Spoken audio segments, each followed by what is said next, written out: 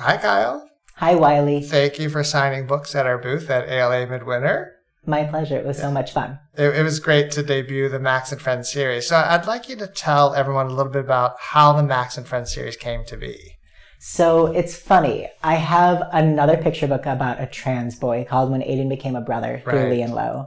And the first Max book is actually very close to the very, very first draft of Aiden, which I first wrote oh, almost four years ago. Wow. Um, and then when we talked about writing an early reader series, I thought, what if I took that very first draft that I still felt very attached to mm-hmm. and I adjusted it so that it was an early reader instead of a picture book? And the second two books came from there. They just came from Max and his little friends and me thinking about what he would do with his friends after his initial coming out is mostly settled. Right. It's just a fun adventure series with a, a group of friends, the kinds of kids all kids would like to hang out with. Exactly. So, why Reycraft Books? How did you get connected with Reycraft Books? So, I mean, you know the answer to this I question, but I went to my first and only event through uh, SCBWI, the Society of Children's Books Writers and Illustrators. Illustrators. Right. I knew that. Um, and I sat, I was sitting down and I wasn't really talking to anyone because I'm kind of shy. And then I think I said something, I must have said something. I don't know what I said. But the next day I got a direct message on Twitter from yourself. Yeah, I basically stalked you. Yeah, sure. um, and you told me that you were working with a new imprint and would I be interested in coming by and talking through ideas with you? Right. So it was all because I went to a meeting and was on Twitter. Right. And at the meeting, you had talked about one of your picture books that you were trying to sell. Um, and so I was very curious to see that. And then you came to the office and we brainstormed uh, yeah. uh, some ideas. And so I think people are very curious about how books come to be. And there are lots of, lots of different ways. And I yeah. had seen you on Twitter because I, you're one of the librarians I had followed. I was like, I recognize the yeah. face. So sorry for stalking you. Oh, it, but it worked out. It all worked out in the end. It did. It did. Good. So Reycraft Books focuses on publishing books by authors and illustrators from underrepresented groups. So can you talk a little bit about your connection to the Max and Friends series? Yeah. So Max is transgender in the same way that I am. Um, I came out when I was much older. I didn't know that I was trans until I was already in college. And Max is like five or six years old. So there's that difference.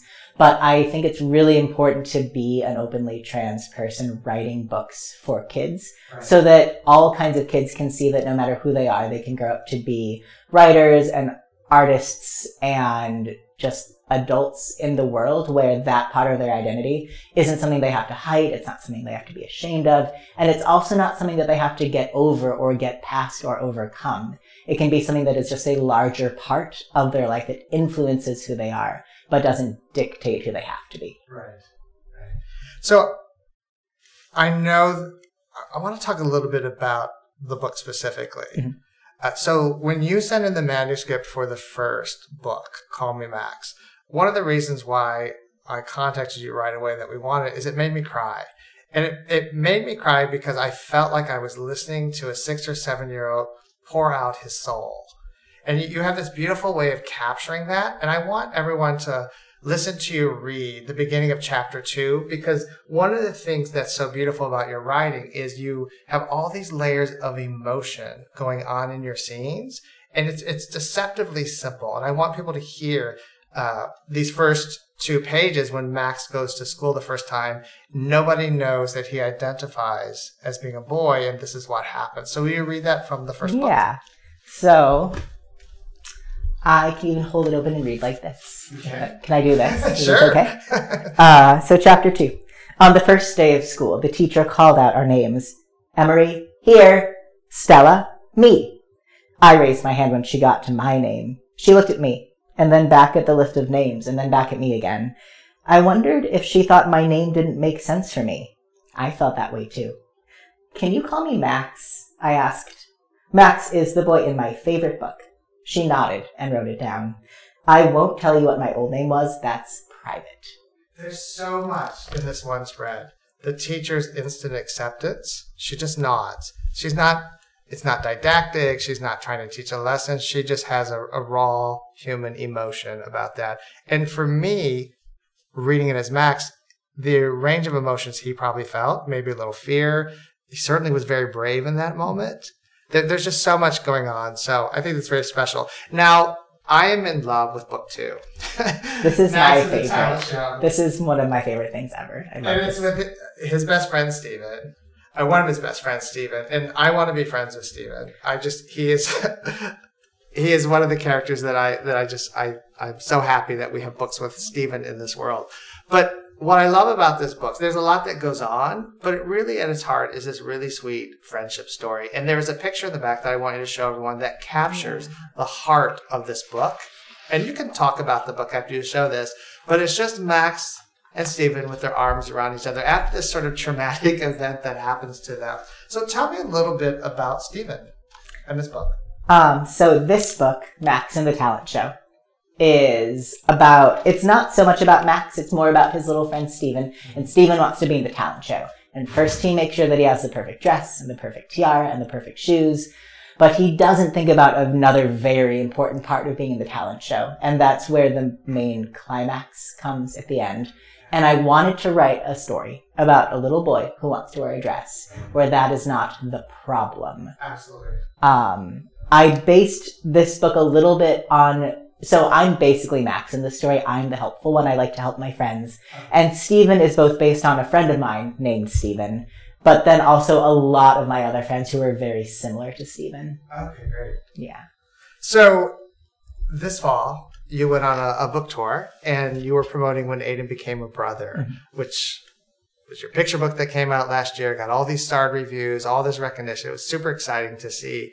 And you were posting some things that were happening during this tour. And one of the things that really struck me was that you had mentioned some of the schools that you went to before you were able to speak to the, the classrooms, letters were sent home to the parents.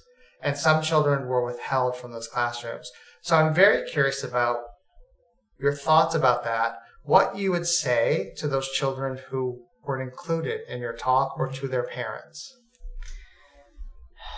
Well, first, before what I would say to those kids and their families, the first is that sometimes people would share that with me that there would be families who pulled their children from my program. Mm-hmm. And sometimes it would be phrased in almost a congratulatory way, like, oh, only two or three families decided to, to remove their kids.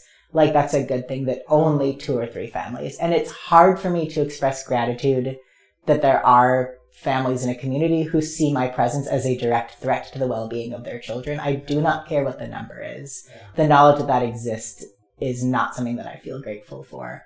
Um, I wouldn't say anything particularly special to those children because it's not their fault. And I know that I've never met a child who has a problem with trans people. The kids that I've met have uniformly been open and accepting and caring and thoughtful. To the parents, I don't know if I would choose. I, it's hard to choose to speak to people who see you as a direct threat to the well-being of their children on the basis of who I am and what, yeah, just of who I am. Um, but I would encourage them to read my books and to think deeply about why they see my books as a problem. And I would ask them to look inside themselves and look at what are they afraid of? Because at the core of that is fear. They're afraid of something. Mm-hmm. And I don't know what that is. I do not know where that fear comes from. And I would like them to think a little bit more about what precisely they're afraid of. Thank you. Thanks. So I want you to talk a little bit about what's next for you, including the oh. third book in the Max and Friends series, but other exciting things I know that's happening. So the third book in the Max series is called Max on the On the Farm. Farm, Max right. on the Farm. And so the first book is about Max and we meet his two friends, Stephen and Teresa. The second book is Max and Stephen. And the third book is Max and Teresa's Time to Shine. And Teresa is very rough and tumble and very adventurous. And Max is still kind of shy and meek. Um, but they go on an adventure together. And I love that story. Um, I have another picture book coming out from Groundwood about poetry. It's called Explosion at the Poem Factory. And then my next big project comes out in uh, 2021, and it's a middle grade novel from Dial Books at Penguin Okay. Random House um, called Live with That. And I'm very excited for that Does one. that have LGBTQ it content? sure does. so share with everyone your first picture book also, because that's Oh. been out for a while. Oh, my first picture book came out in May of 2018, and it's called The Storytelling of Ravens. and it's about collective nouns. And it's beautiful. Thank you. Yeah. So thank you, Kyle. Thanks, Wiley.